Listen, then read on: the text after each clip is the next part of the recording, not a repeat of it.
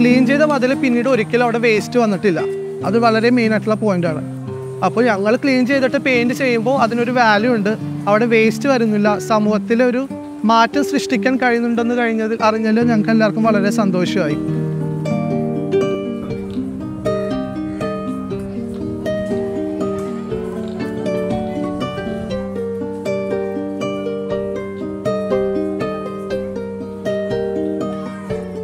എന്റെ പേര് സഞ്ജയ് കുമാർ. കൊച്ചിയാണ് സ്വദേശം. നിറങ്ങളോടാണ് കൂടുതൽ ഇഷ്ടം. വരയ്ക്കാൻ അതിലേറെ ഇഷ്ടം. അങ്ങനെയാണ് ഈ ഒരു ആർട്ടിന്റെ ഫീൽഡിലോട്ട് വന്നത്. ചെറുപ്പം തൊട്ടേ വരയ്ക്കുമെന്ന് അച്ഛനമ്മയും പറഞ്ഞ് കേട്ടിട്ടുണ്ട്. മതിലൊക്കെ ഇങ്ങനെ കുത്തിക്കുറിച്ചിടും.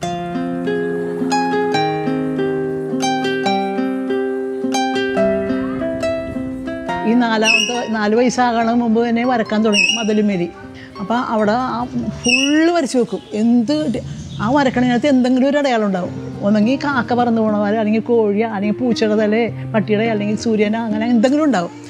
അപ്പോൾ ആൾക്കാരൊക്കെ വരുമ്പോഴത്തേക്കും അതിൽ മുള്ളു ഫുള്ള് മതിൽ നിറച്ച് വെച്ചേക്കണം. അപ്പോൾ അവർ പറയും എന്തിനാണ് ഇങ്ങനെ വരപ്പിക്കണേ? അപ്പോൾ അവൻ വരക്കട്ടെ അവന്റെ ഇഷ്ടത്തിനല്ലേ വരക്കണം. നമ്മുടെ മുറിയല്ല നമ്മൾ ശരിയാക്കി മതിയല്ലോ. എന്ന് അങ്ങനെ പറഞ്ഞ് അവരോട് അങ്ങനെ സമാധാനം പറയും. ഈ മതിലൊക്കെ വരച്ച് വെച്ചാണ് ഒക്കെ ഇവിടെ ഇതാക്കി കളഞ്ഞാൽ എല്ലാ മതിലും മേലും വരക്കുമായിരുന്നേ എന്തെങ്കിലുമൊക്കെ വരച്ച് നോക്കും പിന്നെ കടപ്പുറത്ത് മിക്ക മതിലും സഞ്ജി ഒന്ന് പേന എടുത്താ അപ്പം എന്തെങ്കിലും അടയാളം ഉണ്ടാവും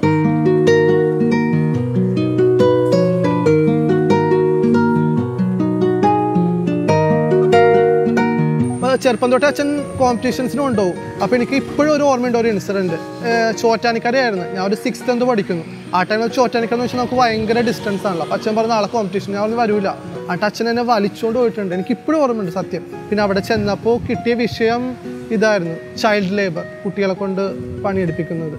വരച്ചു അന്ന് സെക്കൻഡ് കിട്ടി. അതൊക്കെ ഇപ്പോഴും ഓർക്കുമ്പോൾ എന്തോ ഒരു പ്രത്യേക ഫീലിംഗ് ആണ്. പിന്നെ കോമ്പറ്റീഷൻ അത്തക്കള മത്സരത്തിന് കൊണ്ടുപോകും. അതും പ്രൊഫഷണൽസ് ആയിട്ടാണ് മത്സരിക്കേണ്ടത്. ആ സമയത്തൊന്നും കിട്ടില്ല പ്രൈസ് കിട്ടില്ല എന്നാൽ ആ പൂ വാങ്ങിക്കാനുള്ള ആ ഒരു എമൗണ്ട് അതൊക്കെ അച്ഛൻ സ്പെൻഡ് ചെയ്യും. പ്രൈസ് കിട്ടില്ലെങ്കിൽ കുഴപ്പമില്ല. നീ പോയിക്കോ. പിന്നെ തിരിച്ച് വന്നേക്കാളും എന്നോട് പറയാം എല്ലാവരും ചെയ്തു ഒന്ന് പോയി നോക്കാൻ അതൊരു വലിയ പോയിന്റ് ആയിട്ട് എനിക്ക് തോന്നി. കാരണം നമ്മൾ ബാക്കിയുള്ളവരിൽ നിന്ന് ഒരുപാട് പഠിക്കാനുണ്ടെന്ന് അന്ന് എനിക്ക് മനസ്സിലായി.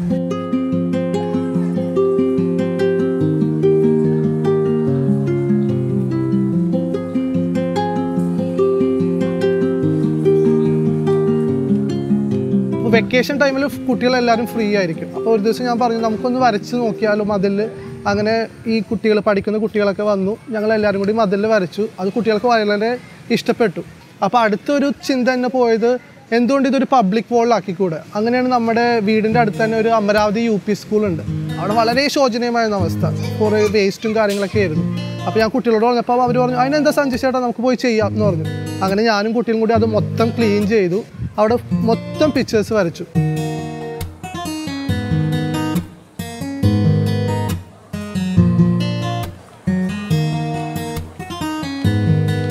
ന്യൂ ഇയർ ആണ് ഏറ്റവും മെയിൻ ആയിട്ടുള്ള സംഭവം. എത്രയോ ആൾക്കാരാണ് ഇവിടെ ലക്ഷത്തോളം ആയിരക്കണക്കിന് ആൾക്കാർ കുറേ പേര് വരുന്നുണ്ട് ഇവിടെ. അപ്പോൾ ആ ടൈമിൽ നമുക്ക് എന്തുകൊണ്ട് എന്തെങ്കിലും ചെയ്തുകൂടാന്ന് കരുതിയിട്ട് ഫോർട്ട് കൊച്ചിയിൽ ഒരു വോൾ എടുത്തിട്ട് ഞങ്ങൾ Kochi it's not a city it's a feeling ആ ഒരു തീം ബേസ് ചെയ്തിട്ട് കൊച്ചിനെ പറ്റിയുള്ള ഒരു ചിത്രം വരച്ചു വോളായിട്ട് അതും ഭയങ്കര ഹിറ്റായി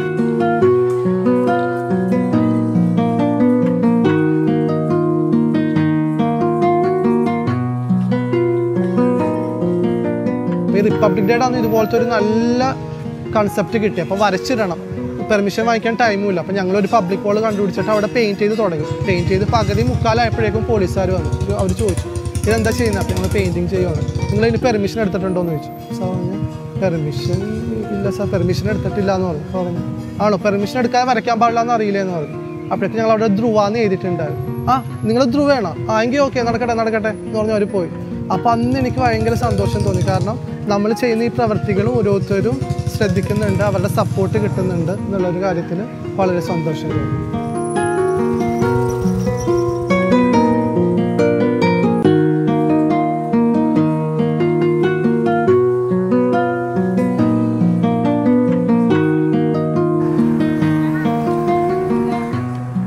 അപ്പോൾ ഞാൻ കുറച്ച് ഫാസ്റ്റായിട്ട് വരയ്ക്കുമെന്ന് ഫ്രണ്ട്സ് പറയാറുണ്ട്. അധികം ടൈം എടുക്കാതെ വരയ്ക്കുമെന്ന് പറയാറുണ്ട്.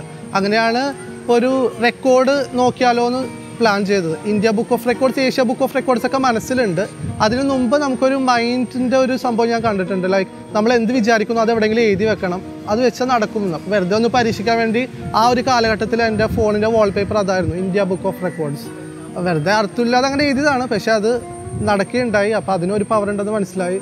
അപ്പോൾ അതിന്റെ പ്രിപ്പറേഷൻ എന്ന് വെച്ചാൽ ആദ്യം ഡൗട്ടായിരുന്നു ഇത് കിട്ടുമെന്ന് കാരണം എത്ര പെയിന്റിങ്സ് എനിക്ക് തീർക്കാൻ പറ്റുമെന്ന് അറിയില്ലായിരുന്നു.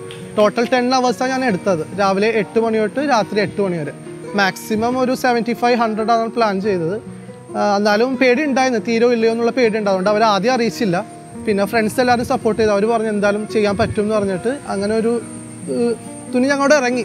പിന്നെ എന്തോ ദൈവത്തിന്റെ സഹായം കൊണ്ട് രാവിലെ എട്ട് മണി മുതൽ രാത്രി എട്ട് മണി വരെ കണ്ടിന്യൂസ് വരച്ചു കൃഷ്ണന്റെ ജനനം മുതൽ സ്വർഗാരോഹണം വരെയുള്ള ചിത്രങ്ങളായിരുന്നു. നൂറ്റച്ച് ചിത്രങ്ങൾ പത്ത് മണിക്കൂർ കൊണ്ട് വരയ്ക്കാൻ സാധിച്ചു.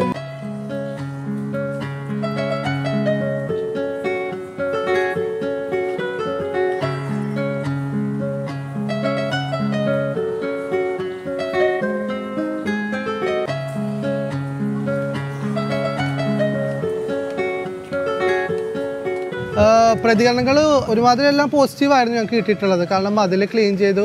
അവിടെ വൃത്തിയാക്കി ഒരു ചിത്രം വരയ്ക്കുന്നു. അവിടെ പൊല്യൂട്ടഡ് ആകുന്നില്ല. എന്നാലും ചില സ്ഥലത്തു നിന്ന് ചില കമന്റ്സ് വന്നിട്ടുണ്ട്. ആ മതിൽ വൈറ്റ് അടിച്ചിട്ടാൽ പോരെ. എന്തിനാ ഇത്രയും വൃത്തികേടാക്കുന്നത്?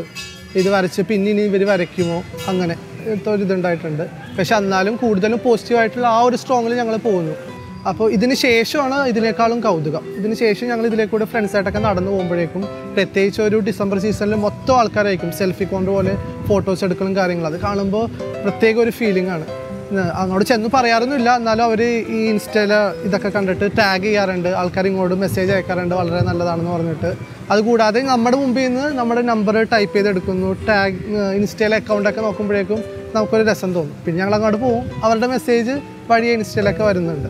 അപ്പോൾ അങ്ങനെ വളരെ ഒരു സന്തോഷം തോന്നും. നമ്മുടെ പെയിന്റിങ്സ് കാണുമ്പോൾ അത് ബാക്കിയുള്ളവർ ആസ്വദിക്കുമ്പോൾ അപ്പോൾ എവിടെയോ പറഞ്ഞ് കേട്ട ഒരു വാക്ക് എനിക്ക് ഓർമ്മ വരും. ഒരു കലാകാരൻ മരിച്ചാലും അവൻ ജീവിച്ചിരിക്കും. എന്തിലൂടെ? അവന്റെ ചിത്രത്തിലൂടെയും നിറങ്ങളിലൂടെയും.